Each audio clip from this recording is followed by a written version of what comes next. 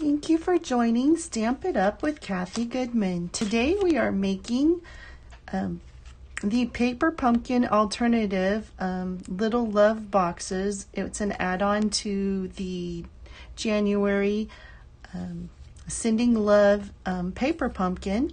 I am using the stamp set that came with the Paper Pumpkin. Um, I'm using Hi Valentine and sending love your way. Um, first, we're going to start off and make the um, red one. Um, we're going to use the little snail. That is part of what comes in the alternative um, add-on box set. First of all, we're going to take our box and we are going to use our bone folder to um, fold it and score it on all of the score lines. This will help um, give it a nice crisp creases and so it will um, stay folded and look nice once we get it all together. So I'm just folding and scoring on each and every score line.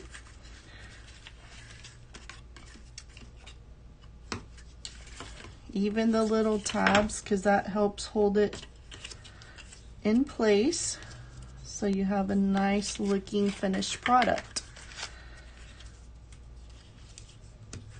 Okay, we're almost done here. We have just a couple more to do. There we go. This final one. Okay, we've got that all scored. Now this is the lid of our box. So we're going to take and to put it together, you're going to fold in these two sides and then we're going to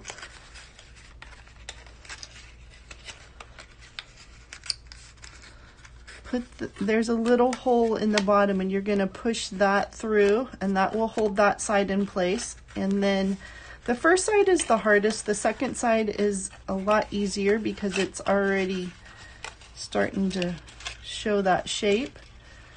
So we're going to push that in. Make sure it's it's in the hole so it stays. Looks good. So now we're going to tuck in our back box top. There we go.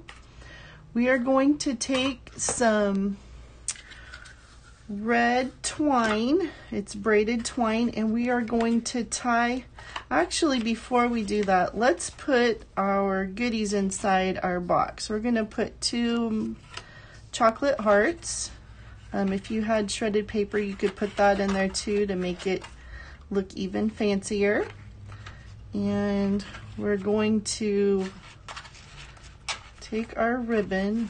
I haven't taken it off the spool because it saves a little bit of ribbon when you don't. That way you can tie what the amount you need and then cut it off and you waste less. Okay, we've got our bow here. So, um, and we want that up at the top like we've got it. Um, we're to just make the You're to trim your twine at an angle. That way it gives it a more finished look. There we go. Now we got our bow tied. Let's get um, I forgot to mention, this is this Little Love Boxes supply list. This is what I've used to um, decorate my boxes. So if you want to take a screenshot of this, that'll give you all the supplies that I've used in addition to what comes in the package. Um, you get these in the package um, and you get the little snails. So, um, I've opted not to use the little tags that come in there for this particular project. Um, I'll probably use them for another one. Okay, so next what we're going to do is we're going to stamp our Hi Valentine. We're going to need real red ink. So I'm going to bring in my real red ink pad. and my Hi Valentine stamp. And I want to stamp it not not in the middle, but kind of more over to the right side, but also leaving enough space that I can put one of the resin heart embellishments on on this as well, right at the edge. So we're going to go straight down, press down firmly, and then lift it off. Looks like we got a good image. So now we're going to use one of our resin hearts. Um, if you have a take your pick tool, that works really good for picking these up off of the um, deal and placing them. There we go. Now we have that on there.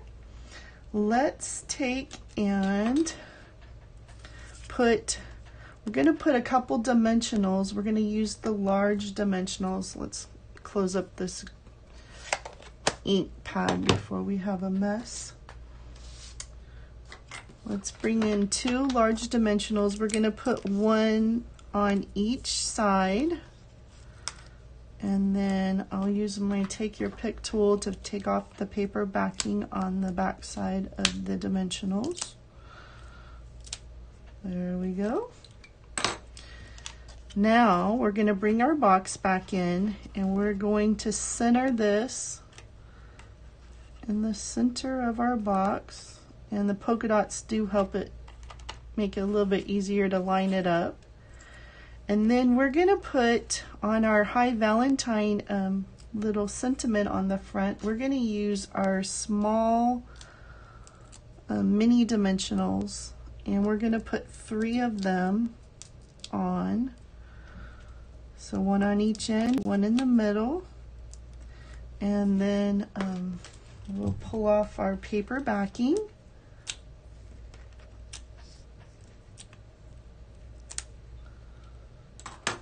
and we'll set this right on the top of this. Oops. Try to get this a little straighter. There we go. Now we can pull in our little snail. This coordinates perfectly with the snailed it um, suite in the um, mini catalog that goes from January through June. I'm just putting a little bit of liquid glue on the back of my snail and I'm going to slip him right over here so he's actually glued onto the tag. And there we go for our first project. This is my sample and then this is the one that we just completed together. Okay, now let's go on to the second one that we're going to make. We are going to um, use Pool Party ink and we're going to bring in this um, shape that was cut from the Stitch So Sweetly set. Um, the heart one that we used on this particular box we just finished. This um, and this was from the succulent die set in the mini catalog. So that's where that comes from in case you were wondering. Okay, we're dipping our Sending Love Your Way into our ink, our Pool Party ink, and we're going to stamp it straight down on our die cut piece. So it turned out really cute. Now let's um, close up our ink and bring in our box. This time I went ahead and folded the box an, ahead of time because you had already watched me do that. Um, I took one of the cards, uh, one of the greeting cards from the paper pumpkin and I cut two inch strips, so it's two by five and a half. And then I scored it um, just, the box is two inches wide. Um, this is a half an inch. This is two inches, another half an inch. So what I did is I added a sixteenth of an inch to the two inches and I did a, I just made a little pencil tick um, to do the center part. And then on my sides, I did a half an inch plus a sixteenth of an inch just to make it to where it would slide on and off the box. So when you do what we call a belly band, you want to use an adhesive that's really strong. I would suggest using tear and tape for this one. Um, you could use um, the Stampin' Seal Plus. Um, it is a little wider than this, and since I don't have a lot of extra wiggle room, I like to use the tear and tape on this one. So we're just going to put it across like this. Um, tear and tape, you just you can tear it off or you can use your scissors to cut it. Um, just depends on what your preference is. Okay, so we're going to bring the box back in and we are going to remove the paper backing on our um, tear and tape. Oops, I got to get my dimensionals off of there. There we go. Okay, so then if you just take a piercing tool, it helps, or you can use your fingernails, helps lift the edge so you can um, remove the paper backing off of your tear and tape. Okay, so now we're going to take and we're going to hold the, and then we're just going to secure it. Then you can see that it still will slip off your box fairly easily. There we go. So you can slip it off to um, put a treat inside um, or whoever you give it to, your recipient can um, also open it up. I used some pool party um, sheer ribbon and what I did is I just took a piece of it folded it put it through and I'm, we're not going to tie a bow we're just going to tie a knot. So I figured it just kind of added a little bit of shimmer to this project. So let's get this back over here. We're going to pull this over to the side and we're going to go over the top and through. Um, this will give me my knot on the side. Okay. That one is not a very nice knot. I'm going to try it again.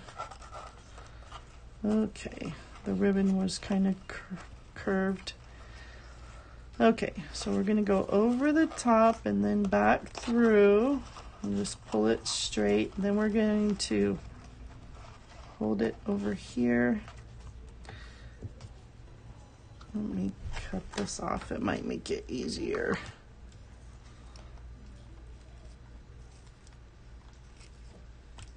Oops. Okay, let's try this again. Go from the top over the bottom and then through. And let's see if that gives us the nice little knot we want. Okay, there we go. So now um, you can take your scissors and just trim it at an angle. There we go. So I don't know if you can see, but this rib ribbon has a little shimmer to it. It's kind of cool. Okay, we're going to take our Sending Love Your Way label. We're going to put dimensionals on the back of it. Um, put one on this side and one on this side. We're going to remove the paper backing. And then we're going to set that on our oops, our box right here. Kind of a little bit over on this side so we can add our, gives us room to add our snail.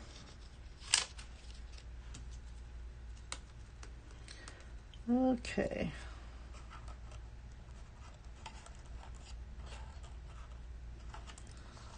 Let's see here.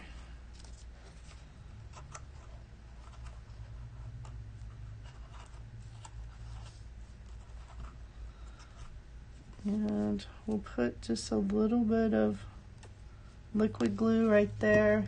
And then we'll add a mini dimensional to our box and that way we know our snail is going to stay secure. There we go. Okay, so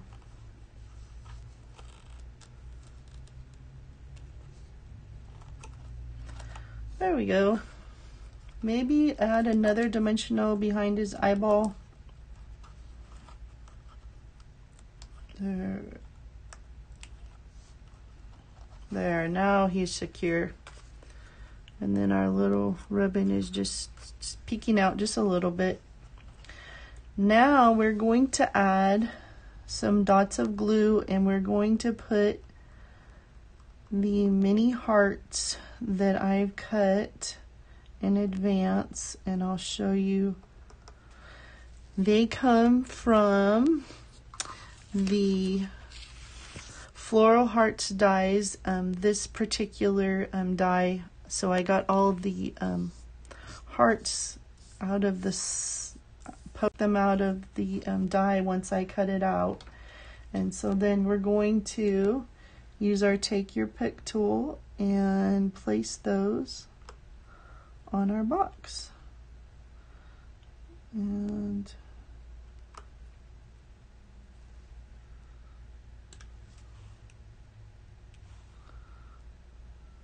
There's a right and a wrong side to these little hearts, so just be careful when you're putting them on that you have the right side up, otherwise it's concave and looks kind of funny.